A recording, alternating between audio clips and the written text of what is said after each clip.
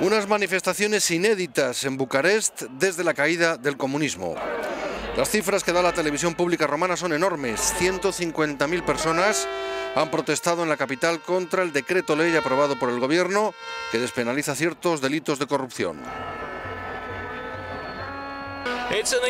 Esta es una increíble muestra del enfado popular de unas personas que piensan que han sido engañadas. Este gobierno les ha decepcionado. Este gobierno socialista llegó al poder hace un mes y en solo un mes ha conseguido sacar a la calle a decenas de miles de personas, una masa sin precedentes desde la revolución.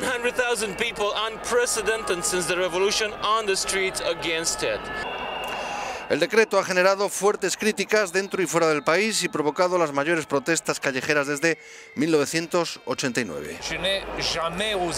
Nunca pensé que fueran capaces de una cosa así. Siempre he pensado que las leyes son producto de la lógica y el sentido común. Pero ahora veo que estaba equivocado. Muchas de las personas que han participado en la manifestación pedían anoche la dimisión del primer ministro Grindeanu.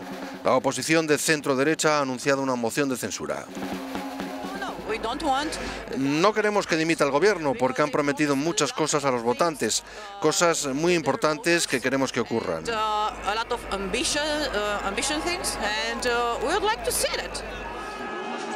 El decreto aprobado de urgencia despenaliza el delito de corrupción si el perjuicio ocasionado es inferior a 44.000 euros. Durante la protesta de Bucarest se registraron incidentes violentos aislados.